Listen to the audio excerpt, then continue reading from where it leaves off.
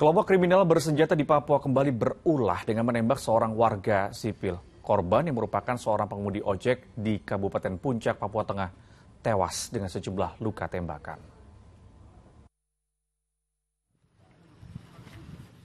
Warga bersama aparat gabungan TNI Polri Senin sore mengevakuasi jenazah Damri, seorang pengemudi ojek.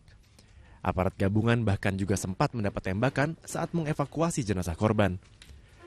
Korban tewas ditembak kelompok kriminal bersenjata saat sedang menunggu penumpang di jembatan Cilame, Kampung Wako, Distrik Gome, Kabupaten Puncak. Jenazah kemudian dibawa ke RSUD Ilaga dan rencananya akan dipulangkan ke Mimika, Papua Tengah. Hasil otopsi menyatakan, selain mendapat tembakan, korban juga dianiaya menggunakan senjata tajam. Aparat gabungan TNI Polri langsung bergerak ke TKP guna mengevakuasi korban.